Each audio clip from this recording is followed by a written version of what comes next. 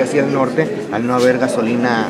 Sí, es lógico, o sea, el desabasto en el centro, en el centro de la República sí está complejo y obviamente muchos de los productos que vienen de allá pues se van a ver complicados llegar hasta acá.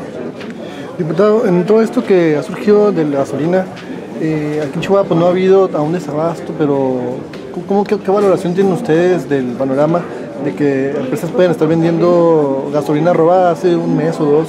Cerraron dos empresas y ya se volvieron a abrir. ¿Cómo revisarían ustedes, este panorama? Bueno, eh, hemos escuchado por, muchos, eh, por muchos lugares, por muchos medios, de que ha habido aquí también en Chihuahua guachicoleo. No, que no, no tenemos certeza, en no tengo certeza de que exista o no, pero las empresas que fueron revisadas ahora están abiertas nuevamente. Eh, según yo lo leí en los medios, en medio de ustedes, estoy enterado de que estas empresas están todas sujetas a un proceso, más, más están abiertas en este momento, entonces desconozco ya el fondo de este problema. Gracias. Gracias.